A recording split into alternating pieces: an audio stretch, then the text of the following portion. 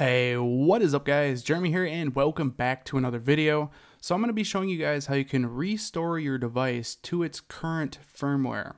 That way you can basically just re-jailbreak it. You're not forced to update to the newest version of iOS.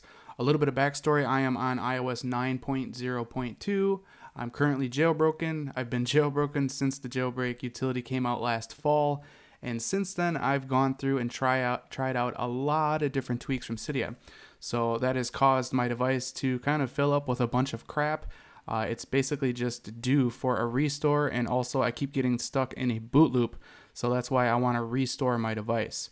So this is going to allow you to restore to the current firmware and then you can just re-jailbreak, which is really awesome.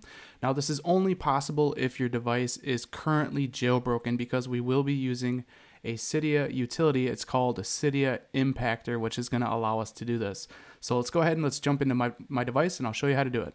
Alrighty, now we are in my device, so I'm going to quickly jump into the settings application, go to general and about to show you guys I am on 9.0.2. Uh, this method should work for any version of iOS 9 and also iOS 8. The only difference is, is on iOS 9, you're going to have to add a source in Cydia. So I'll leave the source uh, down in the description. So just go into your Cydia, go to sources, edit and add. Like I said, that source is in the description, but that's only if you're on iOS 9. If you're on iOS 8, you don't have to worry about it. So uh, what you're want to do is just go to the search tab and search for this uh, right here, Cydia Impactor. Like I said, this won't work for iOS 9 unless you've added that source. So go ahead and uh, go ahead and modify, click on install. I've already installed it on my device. So once you're done installing it, you'll return to Cydia. You can go ahead and exit out of Cydia and you will find the Impactor application on your device. As you can see, it's the little icon in the lower right there. So I'm gonna go ahead and jump out of the screen capture view here. Alrighty, so now I have opened up the Cydia Impactor application on my device. There's a bunch of stuff you can read about, but as you can see at the bottom, it says there, delete all data and unjailbreak device. So we're gonna go ahead and click on that. This process will take a while, so I'm gonna fast forward you guys through it so you're not sitting and watching my device basically restore. So let's just go ahead and let's do that now.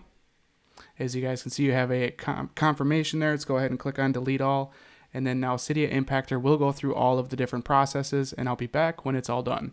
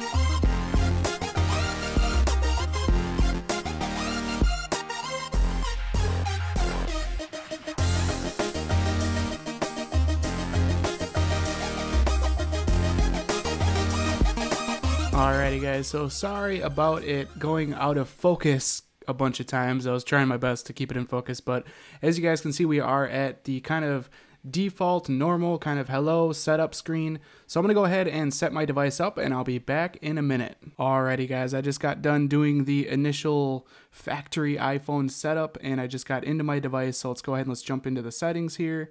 Let's go into general and about and I am still on version 9.0.2.